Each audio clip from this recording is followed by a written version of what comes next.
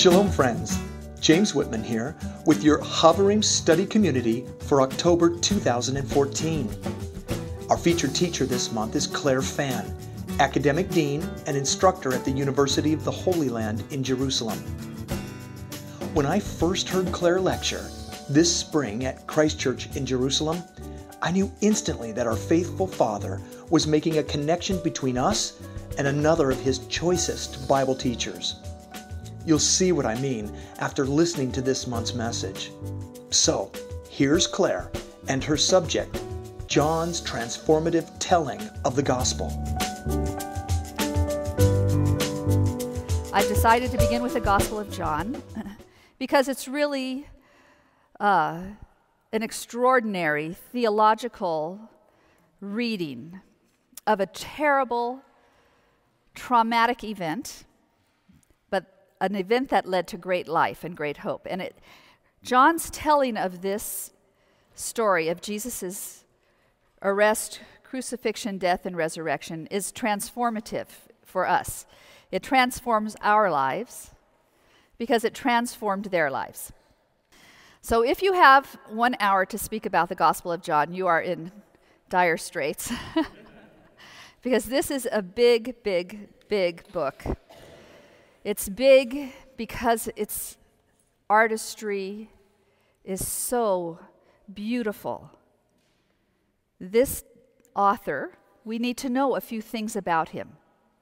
Did you realize that the Gospel of John is the only gospel that within itself claims to be written by an eyewitness of the ministry of Jesus? So when we talk about Matthew, Mark, and Luke, and we say, well, of course, Matthew was the tax collector, and, and Mark was the, maybe the young man in the uh, Garden of Gethsemane who ran away, but we don't really know. But he was Mark who accompanied Peter. And we say Luke, of course, was the beloved physician, the companion of, of Paul. We're giving our traditional uh, ascriptions. These, these books are traditionally ascribed to these men, but none of our gospels actually have within it the name of the author. And when we look at a gospel, we need to ask the question what does the gospel itself tell us about the person who wrote it? That's called the internal evidence, and we want to know what it claims. Well, Matthew and Mark and Luke do not claim to be written by an eyewitness to the ministry of Jesus. So, in the forms that they come to us, they may contain traditions by eyewitnesses, but within themselves, they don't hold that claim. The Gospel of John is written by an eyewitness to the ministry of Jesus.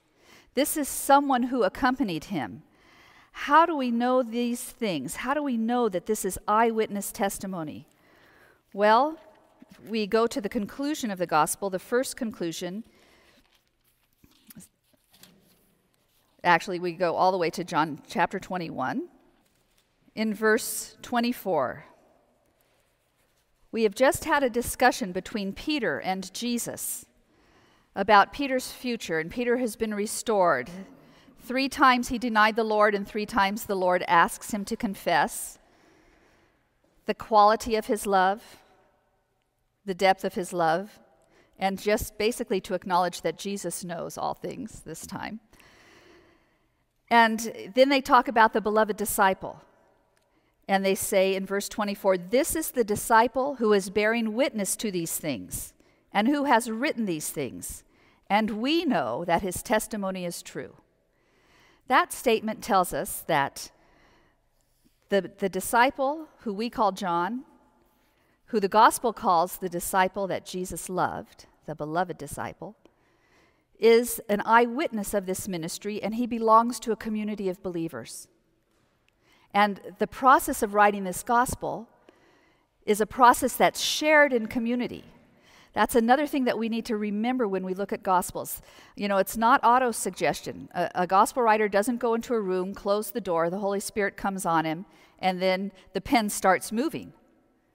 Gospels are written in community, and they tell us not only about the historical Jesus, but they tell us about that community and what that community's spirituality is like, and what that community's interests are, and what that community's issues are how do they define themselves? This community who gives us this gospel with whom they, in which they are preserving the testimony of this beloved disciple. So there's a figure who was accompanying Jesus on his ministry. He is an eyewitness, and he's a very special person.